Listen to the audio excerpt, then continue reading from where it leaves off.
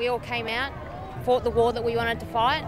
Didn't always end up the way we wanted it to, but we gave it everything we had. And to finish off strong of the season with three wins and unlucky for today, but um, yeah, no, it was good.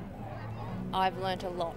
Coming from not playing VFL with all the girls that do play, coming from uh, the level below, my skills have improved immensely. Gelling with players like Seabom, uh, Nick Stevens, all those girls, you're just inspired to be like them. So I've learned a hell of a lot and I appreciate everything they've taught me.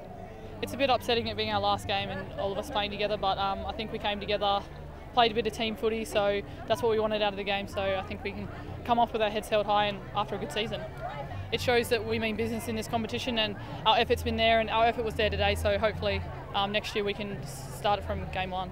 Oh, it's been an awesome experience, probably one of the best in my life. I mean, I, I moved my whole life over here, so um, no regrets, and I don't really know what to do with myself now.